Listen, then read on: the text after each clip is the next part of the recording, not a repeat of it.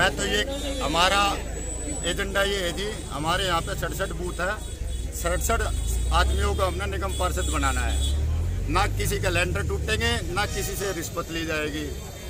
ना किसी को किसी स्टैम्प के लिए हमें ढूंढना पड़ेगा। हर गाँव में दो दो बूथ, तीन तीन बूथ हैं। हर गली में एक लेटर पैड और एक स्टैंप मिल रही है निगम पार्षद को और कुछ नहीं मिलना। और निगम पार्षद का काम होता है लोगों के काम करना। जो रबड़ की स्टैंप और लेटर पैड मिलेगी, वो हमने है जो एक नहीं बनवानी जी।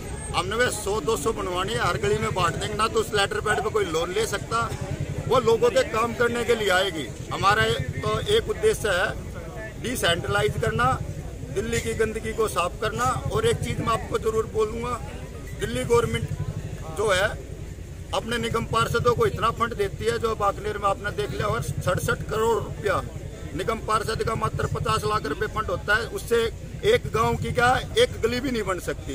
एक साल में एक करोड़ रुपए, पचास लाख रुपए से क्या करे, विकास करेगा? यदि आम आदमी पार्टी का निगम पार्षद होगा तो पचास लाख नहीं, पचास करोड़ नहीं, पाँच सौ करोड़ भी ला सकता है। हमारे मुख्यमंत्री जी ने कहा है, गाँव को चमकाना है और गाँव का विकास करना है तो आप लोगों को जाना होगा। और ये सब अफवाहें हैं। जो कोई कुछ कह रहा है, कोई कुछ कह रहा है। पिछली बार ये मेरी मिसिज खड़ी है। चंदे पे चुनाव लड़े थे। नौ हज़ार वोट इनको मिली थी। जीतने वाले को दस मिली अब नौ से शुरू करेंगे। इक्कीस पे जाकर रुकेंगे। केवल आम आदमी पार्टी है जो दिल्ली का विकास कर सकती है। ना तो ये देश के प्रधानमंत्री का चुनाव है, ना दिल्ली के मुख्यमंत्री का चुनाव। ये चुनाव सिर्फ़ नाली और गली बनाने वाले का चुनाव है। खबरों की डोज नवदीप टुडे पर हर रोज।